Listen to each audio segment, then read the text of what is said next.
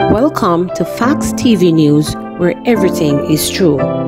Police say five shot in the attack in Mandeville, two seriously injured. The police have confirmed that a total of five bystanders were injured in Friday's during the attack with Burlum Limited security team by heavily armed gunmen at Scotiabank Ward Avenue. It was initially reported that at least three bystanders were shot and injured and had to be hospitalized. A police source on Friday told reporters that two of the injured persons were now undergoing surgery. One male received gunshot injury to his head and is currently in surgery, whilst a woman received gunshots to her abdomen and is also in surgery. One female received gunshot to her hip, one male received gunshot to his right thigh, and a man received a glaze to his right arm, the source revealed. Suspect held after Burlum robbery in Mandeville. Police have held a suspect in Friday's robbery of the Burlum Limited security team at the Scotiabank in Mandeville, Manchester.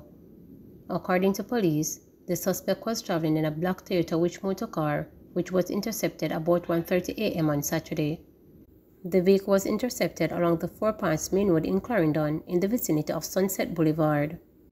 One 9mm magazine, one M16, two AK-47 rounds, and a ski mask reported recovered from the vehicle.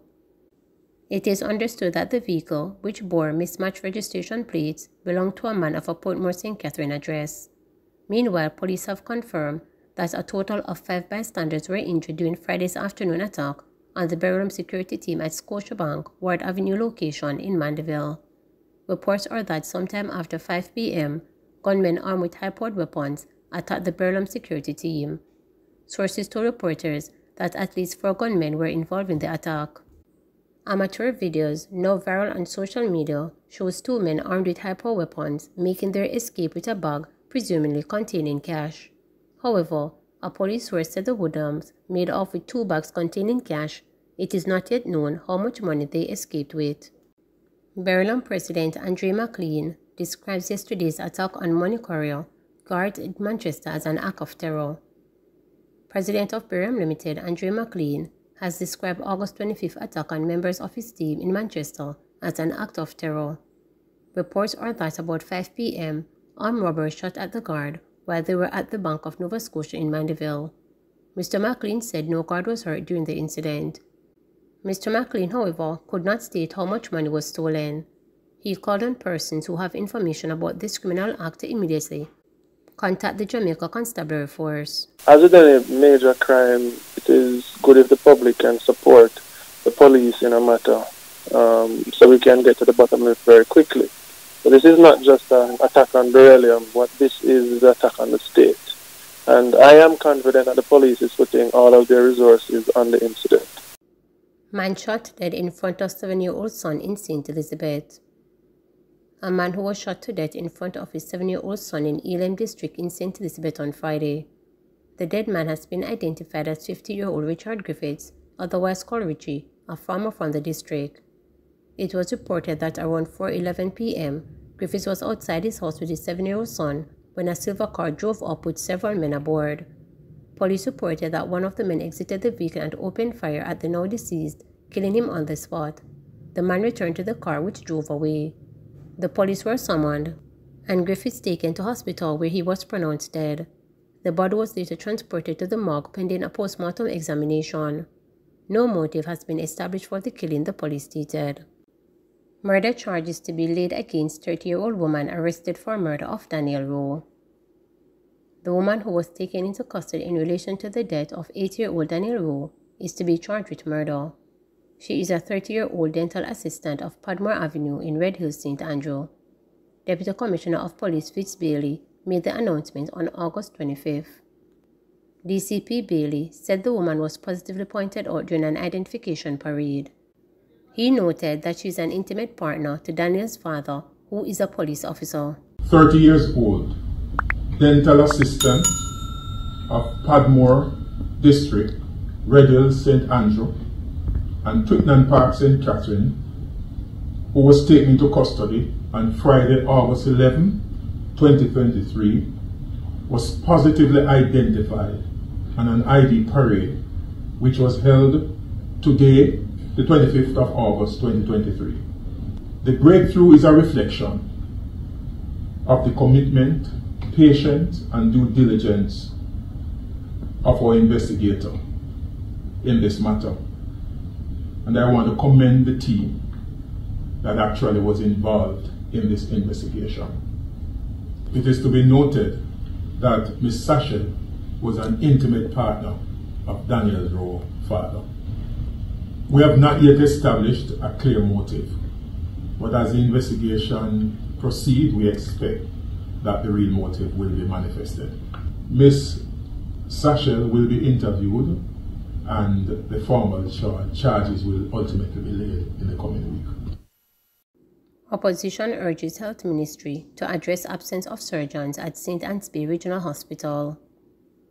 Opposition spokesman on Health and Wellness Dr. Morais Guy is urging the Ministry of Health to immediately address the absence of surgeons at the St. Ann's Bay Regional Hospital. Dr. Guy claims surgeries are being diverted to smaller hospitals in the region as all surgeons at the St. Ann's Bay Hospital are either reported on leave or in a position to provide 24-hour care. He says the situation is concerning. He says the problem should be addressed before it worsens, especially for victims of traffic crashes which frequently occurs in that area. He says regardless of the cause of the relevant authority should intervene immediately, as further delay can result in serious complications or death.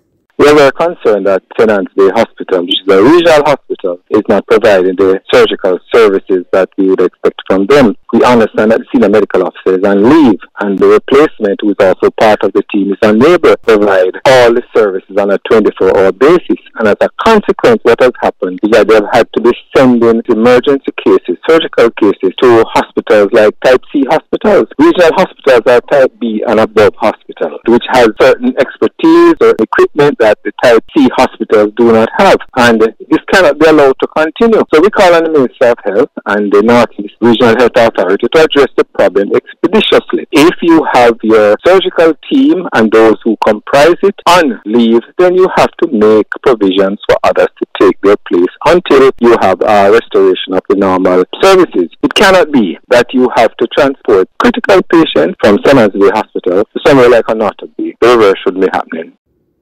New JUTC buses to be ready for rollout in September when new academic year begins. The new buses for the Jamaica Urban Transit Company JUTC have arrived and will be ready for rollout in September when the new academic year begins. The 45 diesel and 5 electric units are now being removed from the cargo ship that transported them at the Kingston wharves. Transport Minister Daryl Vaz noted that the removal process is tedious and dangerous due to the use of cranes to take them down one bus at a time. The new vehicles will be checked, licensed and put on the roads by next weekend. Mr. Vaz said he expects to have over 300 buses ready for September, with special focus placed on servicing South Spanish Town roads. As you know, the buses are about two months delayed from the estimated time of arrival original, which was May to June. And that was because of the fact that the buses were shipped with other cargo and got delayed in other ports. Truth is that going forward, any buses that are ordered will have to be shipped in a certain way, which is roll on, roll off, meaning you drive them on and drive them off. Because right now we have to be using a crane to take off each of the 50 buses. Time consuming and also very dangerous in terms of obviously any incident that would cause you to lose a bus by virtue of uh, damage.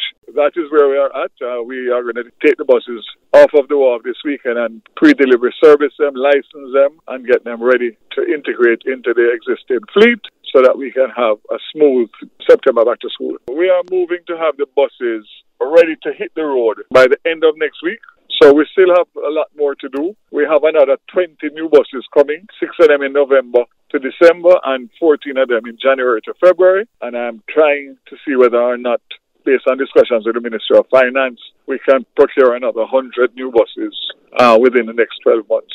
And that will obviously ease a lot of the, the misery index in terms of the commuters. We will put the buses into the back to school fleet. We are moving from 140 to 160 buses rolling out daily. We're going to hope to get to 315 for the back to school September morning, of which these 50 will be included. We are doing major repairs to the existing buses uh, which average about 12 to 14 years old. So obviously, those buses are not in the best of condition. But until we can replace the fleet, we have to work with what we have. So I'm working towards 315 and specific emphasis on the Spanish Town and Portmore routes, which have been plagued by major delays because of the lack of buses. So we're going to be moving to make sure that we have sufficient buses on those routes to make sure that the public commuters can get at ease of the delays in the buses. Please remember to subscribe, like, share,